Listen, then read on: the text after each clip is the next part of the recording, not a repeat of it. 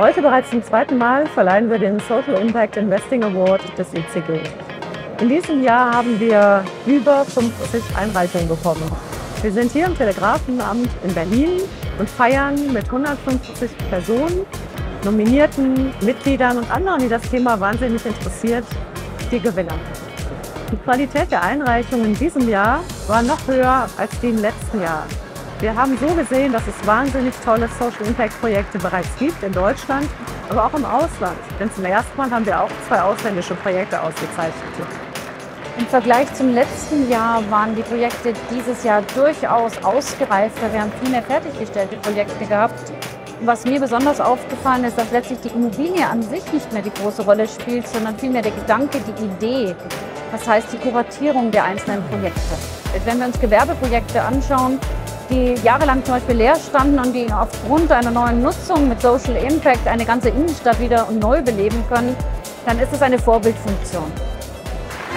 Wir können damit nachweisen, dass äh, Social Impact Investment in der Immobilienbranche angekommen ist, dass es keine Vision mehr ist, sondern dass es wirklich Beweise gibt, dass solche Projekte funktionieren, dass sie sich rechnen für den Investor, für den Bauträger, aber auch für die Gesellschaft. Äh, und insofern sind wir sehr zufrieden äh, mit dem, was wir heute erreichen durften.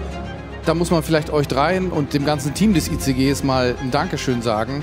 Ähm, euer Engagement für das Gute in der Immobilienbranche ist wirklich herausragend und das auch in der Krise weiterhin mit so viel Engagement zu machen, ist äh, wirklich aller Ehren wert und vielleicht auch einen, einen kleinen Applaus wert für die drei und das ganze Team des ICG.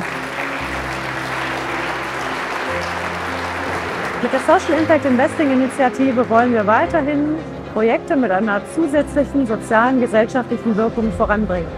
Wir werden in der Phase 3.0 unserer Initiative mit vielen Arbeitskreisen, mit vielen Workstreams, mit Bezügen zur Politik, zu Kommunen, zu Städten, zu Kirchen, zu allen, die in Allianzen an diesen Projekten mitwirken können, weiter voranschreiten, um solche Projekte nach vorne zu bringen und auszuzeichnen.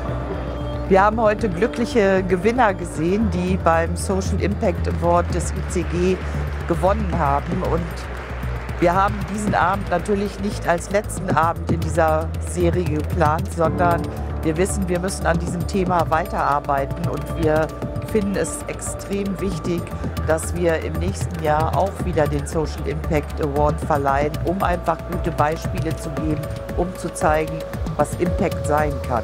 Denn Impact Investing heißt letztendlich auch für eine Branche wie Real Estate Wirkung zu zeigen und einen Mehrwert zu schaffen.